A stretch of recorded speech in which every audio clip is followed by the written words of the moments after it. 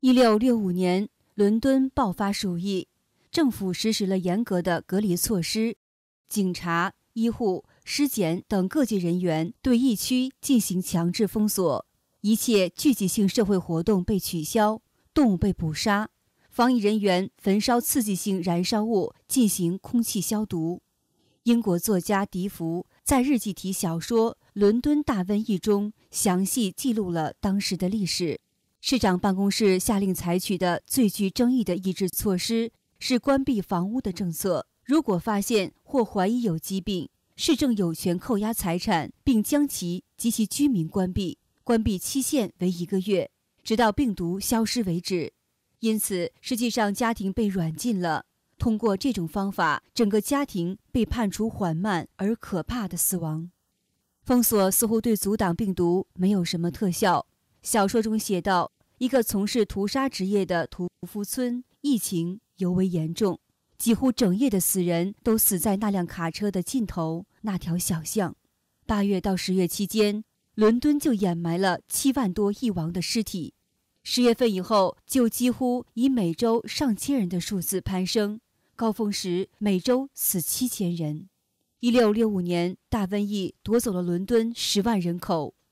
瘟疫在一场大火灾情后突然消失。有人说，那场大火烧掉了病毒，阻止了瘟疫的延续。或许吧，但人类总不能再将纵火列入疫情防控常备手段吧？无论如何，瘟疫和大火都不是伦敦人故意而为之。如果不是出自于天意，还有什么好解释的呢？为什么封锁没起作用？到底是什么导致了瘟疫？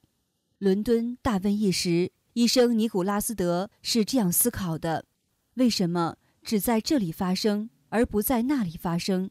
为什么同在一个城市，这所房子或这一区域有疫情，而其他的区域则没有？为什么即便在同一所房子里，是这个人而不是其他的人感染瘟疫？他们同吃同住同呼吸，睡在同一张床上，是什么原因造成如此差别？是上帝的智慧在区分，在一段时间中，他保护这一部分，而不是其余的那部分。我们不得不相信，在这样的危险时刻，上帝是管理我们的唯一的神。当时，伦敦虔诚基督徒们发现，处于工业革命前夕的伦敦城，人们对物欲和感官追求的欲望要远大于对于上帝的虔诚。人们杀生、酗酒、赌博。乱伦、伤风败俗成为时尚流行文化，清教徒们忧心忡忡，认为上帝的惩罚即将降临。由封城到封城，极权危害。三百多年后的今天，一位武汉作家也写了一部六十天的瘟疫封城日记，记述了二零二零年瘟疫爆发地武汉在封城期间的疫情实录。日记写道。灾难是医院的死亡证明单，以前几个月用一本，现在几天就用完一本。灾难是火葬场的运尸车，以前一车只运一具尸体，且有棺材，现在是将尸体放进运尸袋，一车摞上几个，一并拖走。灾难是你家不是一个人死，而是一家人在几天或半个月内全部死光。灾难是你拖着病体在寒风冷雨中四处奔走，试图寻得一张收留你的病床；灾难是你在家里等待医院的病床通知，而通知来时，你已经断气。关于中共疫情数字造假，作家写道：昨天的数据新增病人断崖式下跌，曾引发民众大讨论。我的医生朋友已经告诉了我。这是算法不同导致，修改算法无非数字上好看点。日记的真实性戳穿了中共所谓抗疫神话假象，颠覆了所谓武汉经验。二零二一年，英国变异病毒疫情在国内多点爆发，中共沿用所谓武汉经验，将集权统治借疫情封城而发挥到极致。